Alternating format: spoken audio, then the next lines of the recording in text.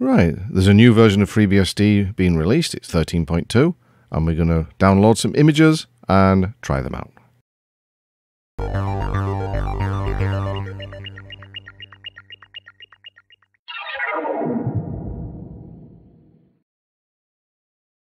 Right, we're going to download FreeBSD 13.2.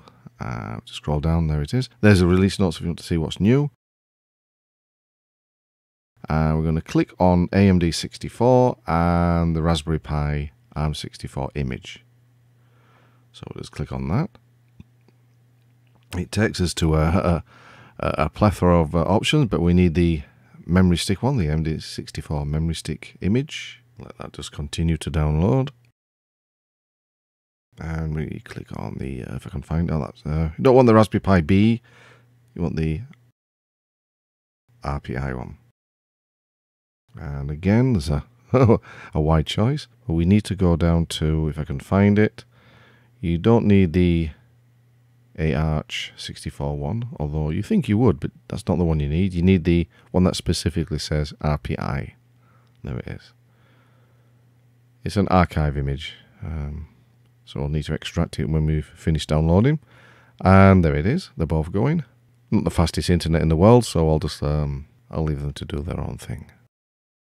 And back on that page, and like I say, if you want to read the documentation while you're waiting for it to download, you've got the release notes, uh, the README, hardware compatibility list, installation instructions, uh, errors, and signed checksums if you want to check what you're downloading. Right, it's been downloaded and I'm going to extract it to the memory stick and you know you can use whatever method you want. I prefer to use uh, DD.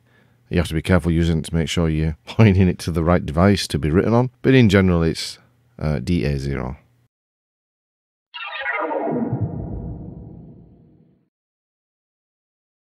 So before we start uh, installation, let's have a look at what's new. Here's a very brief summary. You've got WireGuard kernel driver is now available.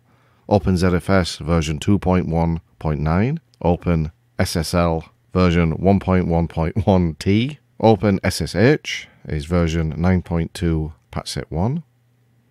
You've got bhyve Hypervisor supports guests of up to 16 virtual CPUs. ASLR is enabled by default for 64-bit executables, and snapshots on journaled UFS file system is now supported. Then there's a whole plethora of uh, fixes and bug uh, and other additions, which you can find out if you go to the release notes.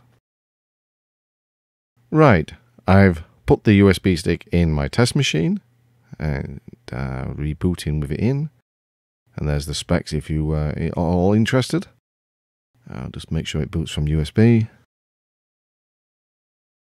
And there we go. I need to change my system uh, battery. It's uh, giving me error messages. And here the usual menu. Things don't change in FreeBSD really. And the menu is uh, pretty much as it always is. So we just wait for it to count down and wait for it to do its thing. Right, the FreeBSD installer. You can install, go to shell or live CD. Uh, obviously, we're just going to choose install and we go to the key map selection and we need to just scroll down to UK, United Kingdom, because the default is US. We'll just select that one. We don't need to test it, we'll just continue.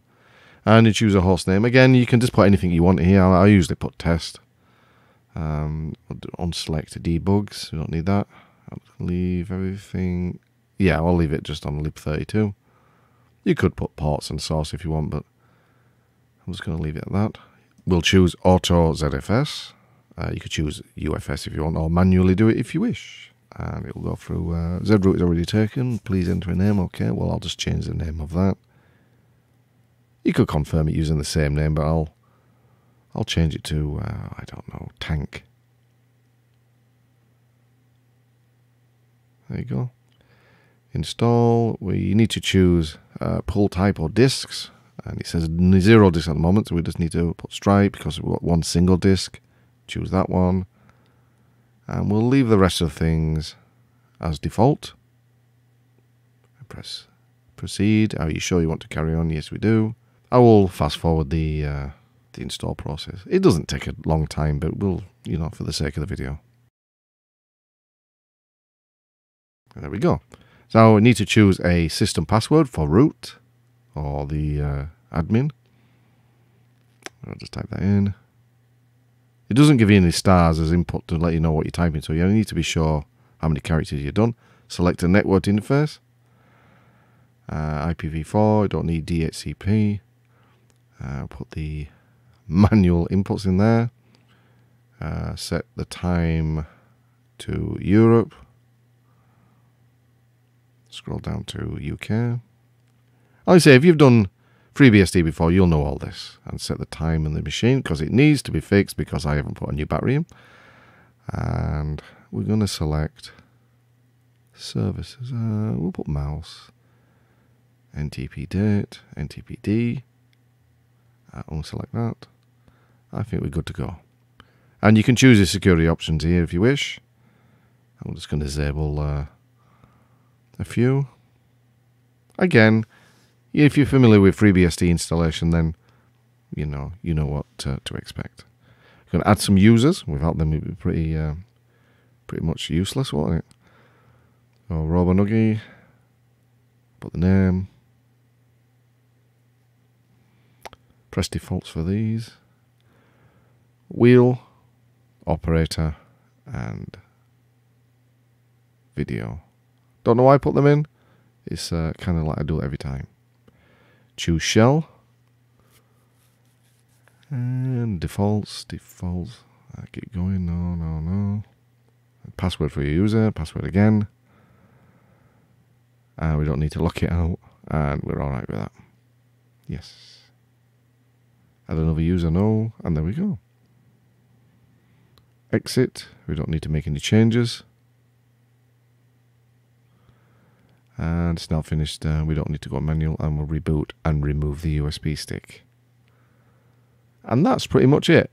Things don't change with FreeBSD really much, and uh, the installation method really is as it always is. It's fairly straightforward. It may not look the most user friendly, but it's quite straightforward. Now I'm just rebooting with the new FreeBSD installed. There we go.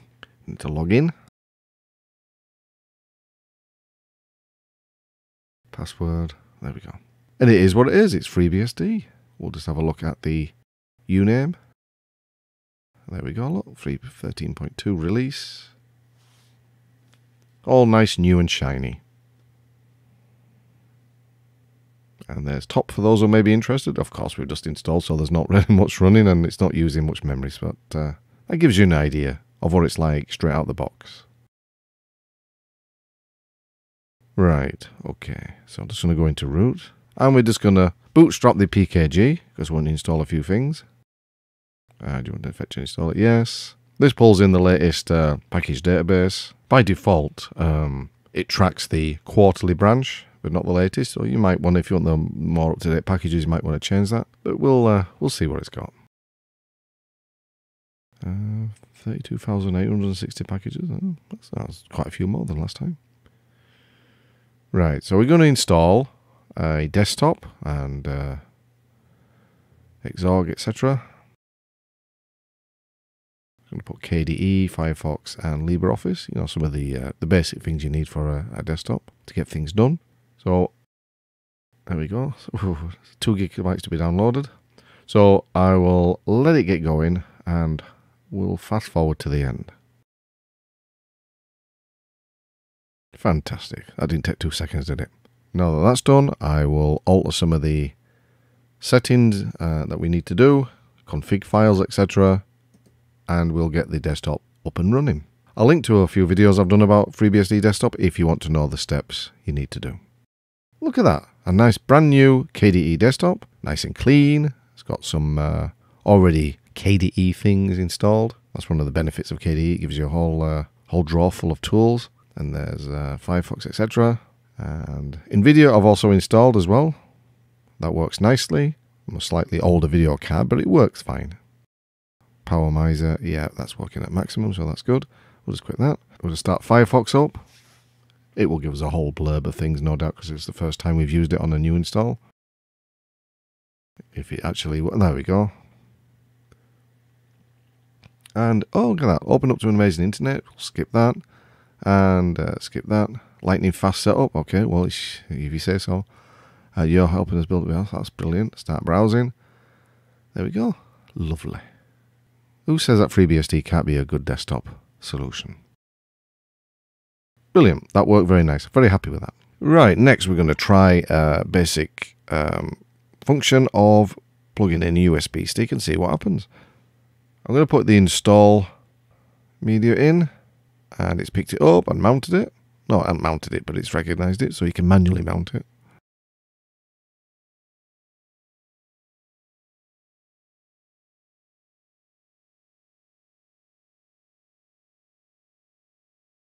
And we're going to try a Windows formatted one.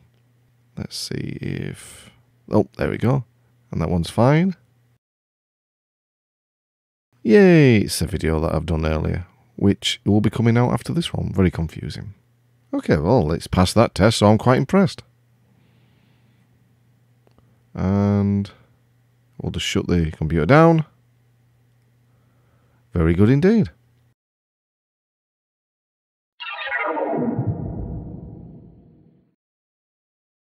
Right, the next test we've got is that we're going to install the ARM64 uh, image of FreeBSD 13.2. I'm going to put it on this external drive, this SSD, and it's uh, with a, a uni cable.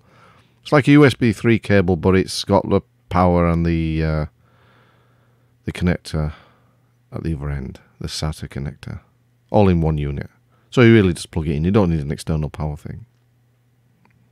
Not the fastest uh, SSD in the world, but it's one that I, uh, use. And there's a Raspberry Pi. Now, i got to apologise for the image. I've had to film on a uh, like an external camera looking at the screen because I couldn't get uh, my usual um, image capture thing to work. So uh, you're going to have to put it with this, unfortunately. So the thing is, the installation is slightly different from the uh, the obviously the AMD 64 version. In that one, you have to sort of like do the partitioning, etc. yourself. And this one, it expands the image to fill um, what you're installing it on. So there is a slight, there's, there's a few steps that are, are, are missing. It practically does it itself. So once you boot up, it will go through the uh, the process. And there's a little bit of um, tweaking we can do after it's been installed. And you know you can't see what's going on. The the actual text is way too large, and that's again it's that's another tweak we can make later on to a config file. So it shouldn't take much longer, hopefully.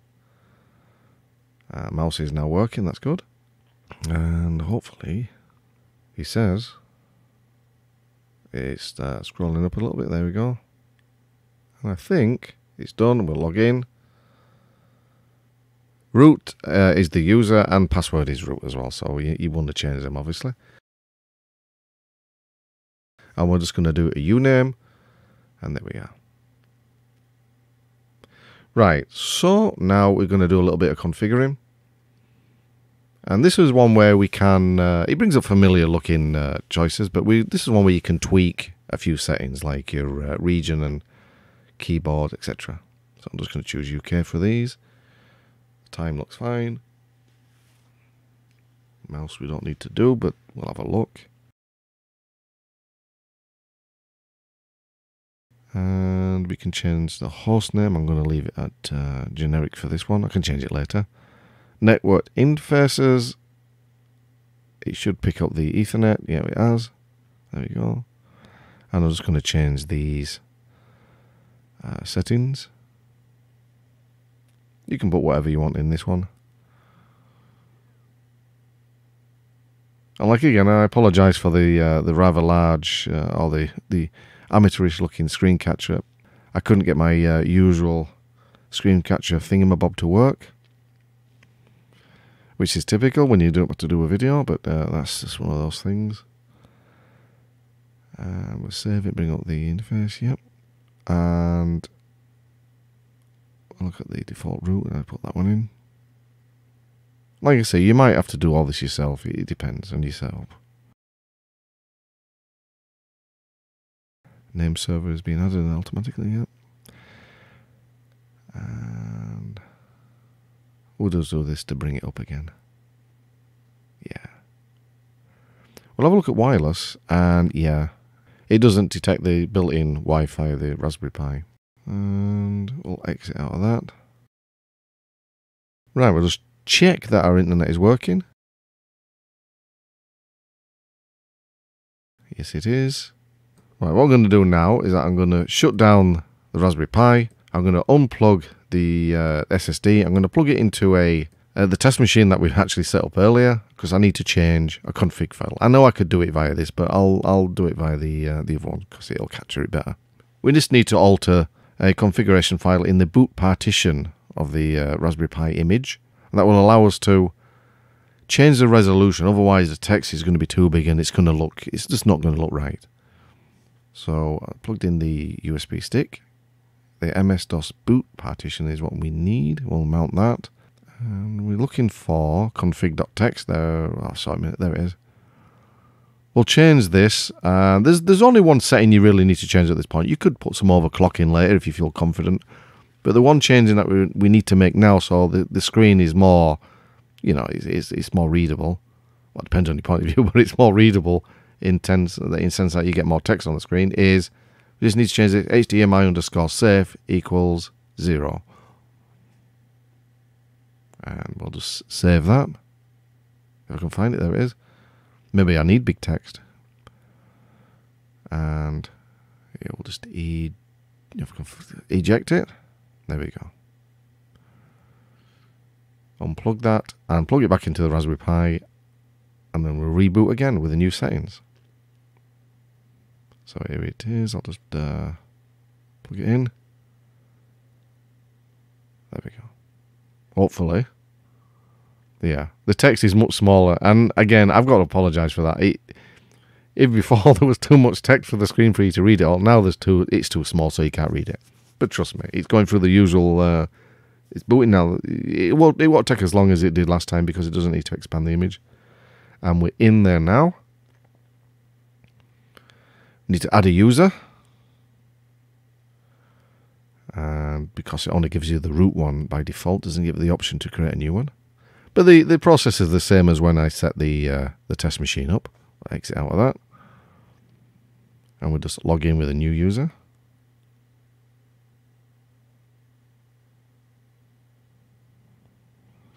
And yeah, we'll scroll to the top, clear the screen. Now we're just going to root, put the password. And we're going to need to change the password because the default password is root, which is, uh, you, you want to change that. So we're going to change it to put in uh, one of your own choice. There we go. Put it in uh, again. All done. So just to test the new password. Yeah, that's fine. Now we're going to do as we did in the test machine. I'm going to package install some of it, but it will. If I can remember what it's called, it's uh, not XFCE4, is it? It's XFCE. There we go and it will bring in if I scroll down to the bottom you can't see it but it'll bring in uh, a fair amount so we'll start that off and we'll let that run and uh, we'll see what happens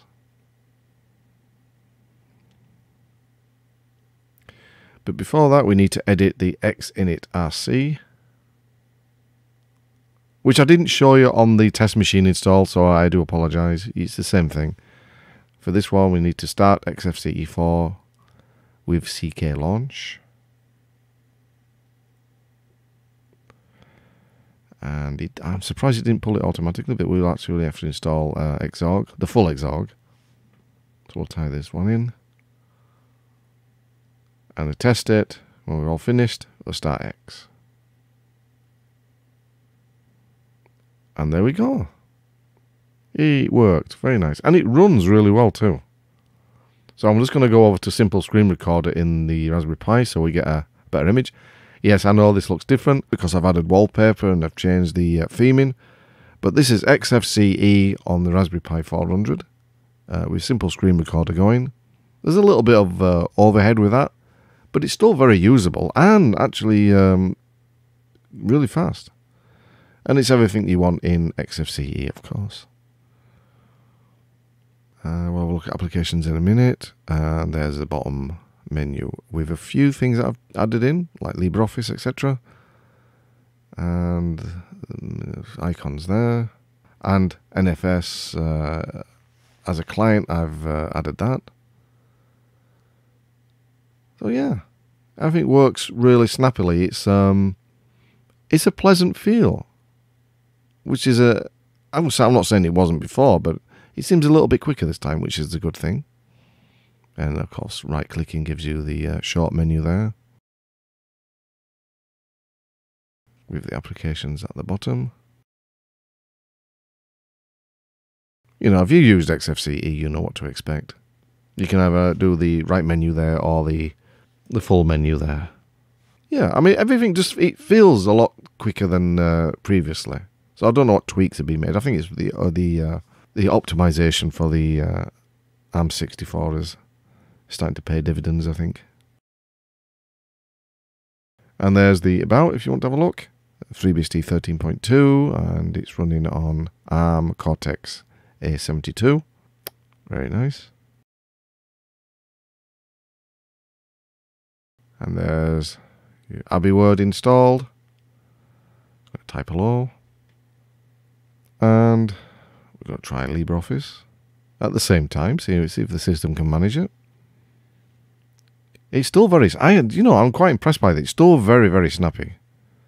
Um, a little Raspberry Pi going. There is a Raspberry Pi 400, but uh, It's got four gigabytes of RAM, I think. Was it eight? No, it's four, isn't it? Yeah. Four gigabytes of RAM. It runs quite fast.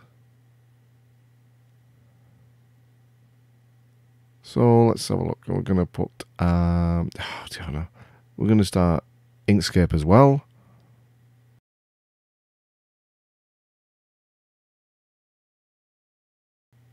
Hopefully it will.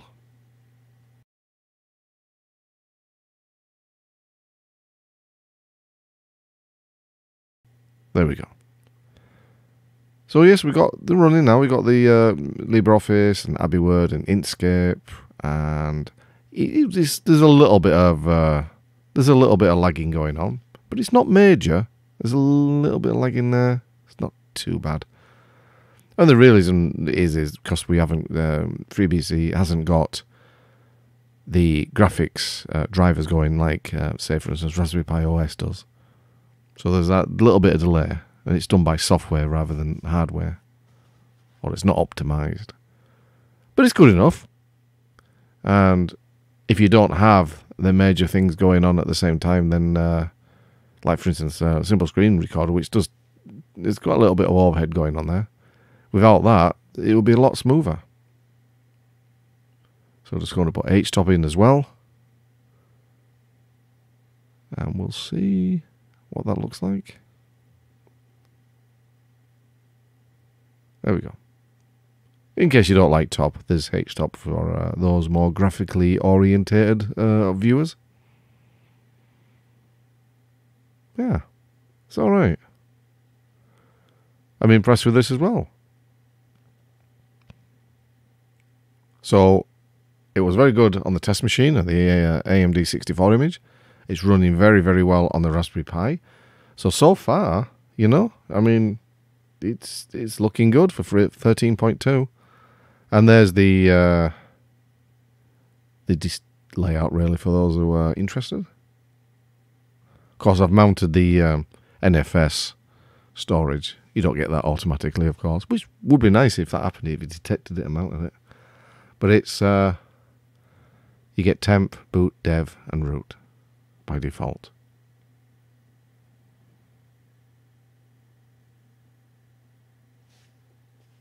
Very nice indeed.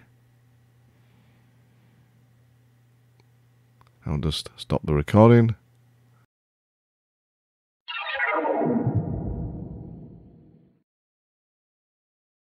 Now, both the previous sections were about a new installation.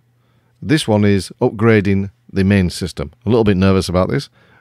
Nothing that ever has ever gone wrong, really, but you know, it's kind of like you know, your main system. So I'm going to back up first. I'm going to use the uh, the boot manager. I'm going to make a snapshot. Take that name. Too lazy to write it out. I'm going to make a snapshot before I install and change things, which is always recommended. Back up your information just in case and make a backup if you can. So it it's just been made. So first we're going to do is we're going to update the system, see if there's any uh, packages that need to be updated. So once that's done, we do PKG upgrade as well.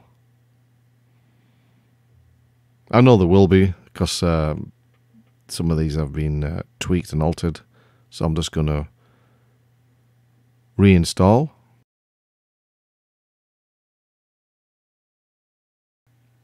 And now to issue FreeBSD update fetch. So if there's any core system elements that need to be upgraded. You've got to remember that FreeBSD keeps it separate from the packages from the core system, so you have to upgrade two different uh, ways. And there's none available for that. So we need to issue the most important one, which is FreeBSD-update hyphen R, means it tells people uh, a release, 13.2 hyphen release upgrade. So you can guess what that does. It means grab the latest, upgrade, and upgrade. Who knew? It's not the fastest process in the world, and uh, you will probably uh, find that yourself. It looks reasonable. It will give you um, plenty of opportunities to change things before the system is fully upgraded, so you, you can have a working system. I'm going to fast forward a lot of this stuff because it really isn't the quickest. If you had source, it'd even take longer, but you know, we, luckily we haven't.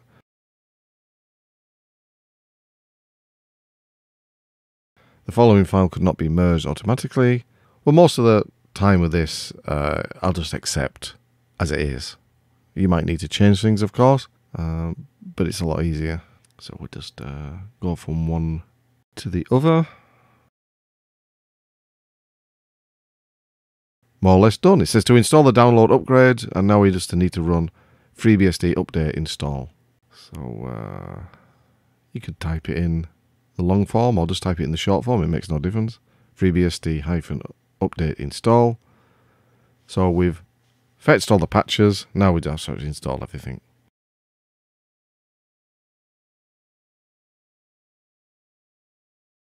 And now it says, we're almost there.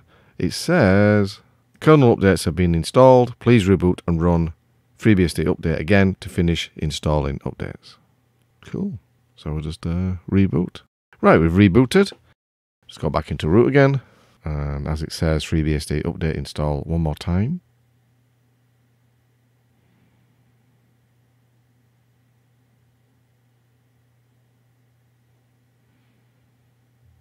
Uh, fast forward it.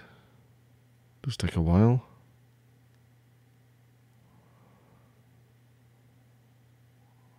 Right, are we done?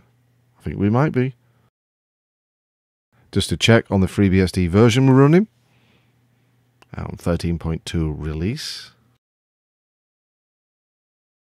Uh, uname, of course, uh, release there. And we're going to check. We're going to uh, check on the OS release using cat. I'll give a bit more detail. Ah, see that still says 13.1 patch set 7. So I think we need to reboot and it should change it.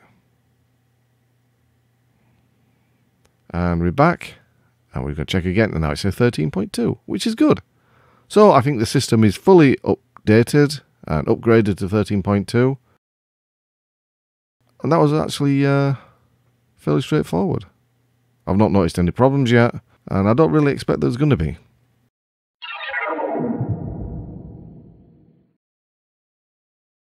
Well, I mean, the thing is, I can't give it any other than five stars. So we've got improved ZFS, uh, which feels uh, snappier. I know, I know, it's not exactly uh, a scientific evaluation, but it does feel things seem to be a little bit quicker in that regard. You know, like files appear and move around, and it's just a little bit faster. Much improved performance on a Raspberry Pi is something which is always welcome and very noticeable too. I can put XFCE on the desktop on the Raspberry Pi 400 and it works flawlessly.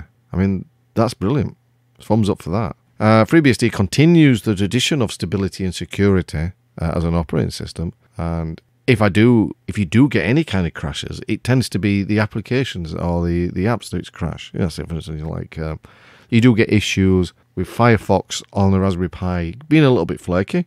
I found that it, it does tend to um, it crashes quite a lot. It, I don't know why that is. Um, maybe I'm going to look into that. But everything else is uh, super stable. But Firefox on, on the Raspberry Pi, yeah, not so stable. Firefox on the uh, the test machine or on the desktop, super stable. So it's kind of like a little bit iffy that way. And but in general, FreeBSD itself is super secure and stable. Yeah. The install and upgrade process, I mean, from my point of view, uh, it may change for other people, of course, because you know you might not be familiar with FreeBSD, but is as easy and as uh, safe as always. I've never really had a problem with upgrading. I've never really had a problem with installation, and it may not be the most uh, aesthetically pleasing install screen or upgrade process, but it gets the job done. And to me, that's another plus for FreeBSD. It's not changed in, in any respects that way. I mean, you can go back to some of the earlier, very much earlier uh, installs, and it's the same. So yeah, it's it's it, it, that's one of the pluses for FreeBSD. It doesn't change unless there is a need to change.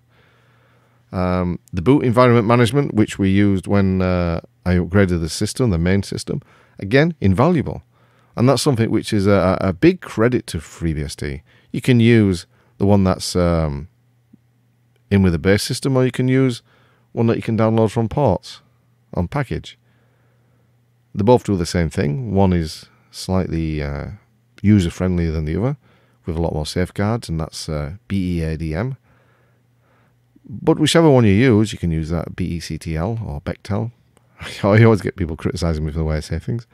Um, either one, you know, make a backup before you start any major upgrades, and you'd be you'd be fine. You just roll back if it all goes wrong. And FreeBSD by nature, it will give you a blank canvas. It'll just the base install and that's it. You then it's up to you to uh, install whatever you want on top. So you could turn it into a server, you can turn it into a desktop, or whatever you want to do. Like I, I've made one or two videos where I think it would be a good idea either during the install or as an option to sort of like choose. Do you want to do a server? In which case, then you just install the bare minimum or perhaps give you options to install server, you know, tools, etc. Or do you want to install a desktop? In which case, then you go that way, and you want to install uh, a, nice desktop that starts up automatically. It's it's kind of, I mean, I, I would like it if they give you that choice, but as it is, FreeBSD it gives you the base system, then it's up to you to install. And that in itself, that, that, that task can be a bit daunting to people, and I understand that and sometimes you just want to get on with it, and that's why something like Ghost BSD or Nomad BSD would be an ideal solution. But it's it's what it's a strength. It's both a strength and a weakness of FreeBSD. It's a strength in that sense. It, you've kind of got a um, you've you've got a blank canvas to do whatever you want, but it's a weakness because it will deter a lot of users who perhaps want to check it out. So it's kind of you don't know, it, it's kind of like swings and roundabouts, really. There is a downside, of course, and this was most evident with the Raspberry Pi because you had a Raspberry Pi image, and the hardware never changes in Raspberry Pi. So each person's Raspberry Pi uh, 4 or 400, etc., are all the same. So there's no variables, no variations. I think if you're going to make an, a, a, a play for the uh, Raspberry Pi and other ARM machines, you, you perhaps need to get some of the basics working or make a, concerted effort to get them working. And in this case, I'm talking about HDMI audio, Bluetooth, and Wi Fi. Now, yes, I know you could put in a, a workable Bluetooth dongle. HDMI audio can be gotten around if you put in a USB audio um, stick, etc. Or if you use a supported Wi Fi dongle, but it, it seems a shame that even at this late stage of the game, you're still not supporting Wi-Fi in it. So really, and the HDMI audio is an issue on the main desktop anyway. It's uh, it doesn't work that way. So, you know, HDMI audio, Bluetooth, and Wi-Fi needs to be looked at, and that's the downside. I'm not going to knock off uh, a score for that because it's something which is long running, and, and there's ways around. You know, like I say, you can. There's plenty of dongles, uh, workable solutions that you can just plug in, and you shouldn't have to, but you can do it. So once you put in a way to get your audio, Bluetooth, and Wi-Fi, FreeBSD then doesn't have to be constrained by these um, issues. Anyway, hope you enjoyed this video. It was a little bit something different. I didn't go into too much detail about how to configure things really because, um, you know, it would the video itself is long enough. It would go over well an hour and maybe for another video. But anyway, thanks for watching and I'll catch you next time.